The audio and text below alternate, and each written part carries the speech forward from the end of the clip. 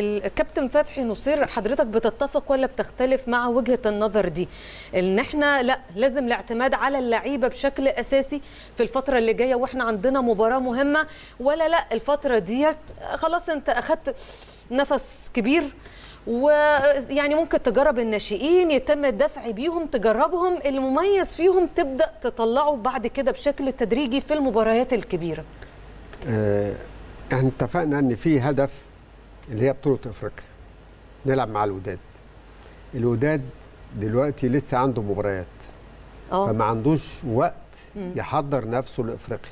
مم. غير بيعتمد على آه المباريات. بيحضر المباريات بتحضره لل- بيحضروا بس آه، كابتن هاني هو ما يقدرش يحضر نفسي لإفريقيا.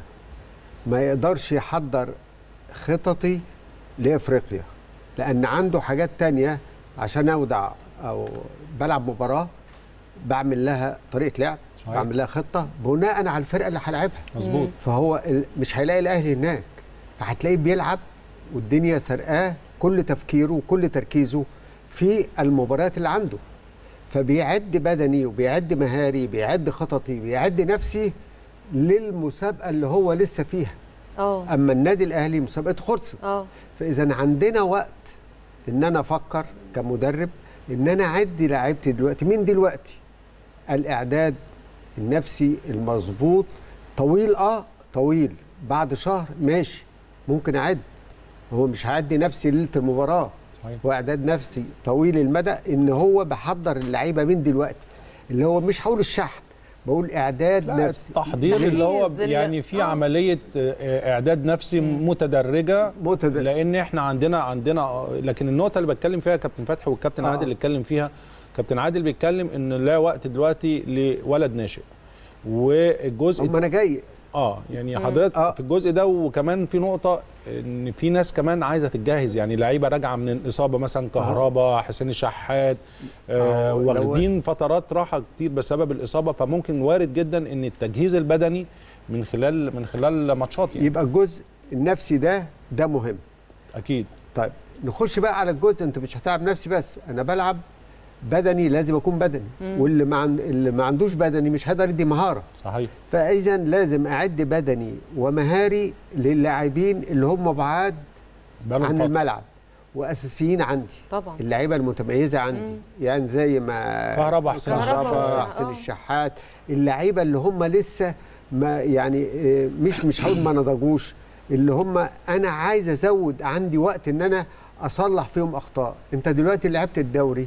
بين المباراة والمباراة 72 ساعة مظبوط. أو 48 ساعة في ماتشات 48 ساعة مظبوط. المدرب ما عندوش وقت يقدر يعالج عيوب اللعيبة في الوقت ده أو أه. يصلح من أخطائهم آه أو يحفظهم حاجة غير نظري يقدر يكلمهم كده لكن ما يقدرش يحفظهم حاجة عملي, عملي آه فأنا عايز دلوقتي الوقت ده إن أنا هحفظ اللعيبة عملي هشتغل معاهم عملي خططي هشتغل معاهم بدني هشتغل معاهم هتقول لي الله ده المفروض أنا في إجهاد وكده. لا ما هو فرق بين الإجهاد وفرق إن أنا التعامل البدني إن أنا بعمل له الاسترخاء وبعمل له كده وريكفري واستشفاء والريكفر و- والاستشفاء بحيث أخليه في قمة النضج الكروي أو يبقى في ال top form بتاعته إمتى؟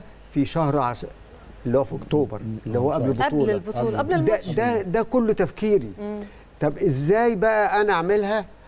في لعيبة مثلا عايز أزود لها شوية هلعب لهم ماتشين أو أديله سبعة أيام يعني يبقى يلعب ماتش ويفوت أسبوع ماتش. ويلعب تاني عشان يحس بال- بالبطولة كل الحاجات دي بتتعمل إزاي يبقى أنا بعد بدني أنا بعد نفسي أهم حاجة طبعاً، نفسي أهم طبعاً. حاجة مم. ثم المهاري الحاجات اللي أنا بعملها عشان أجهزه للنواحي الخططية اللي أنا هعملها هو أكيد في دماغه دلوقتي خطة اللعب اللي هيلعب بيها. هينتقي منهم مش هيقدر يقول إيه أنا عايز ألعب بطريقة كذا إلا بناء على اللعيبة اللي عنده. هل صحيح. هتقدر تنفذ له الكلام ده ولا لأ؟ فهو هيشوف اللعيبة اللي عنده.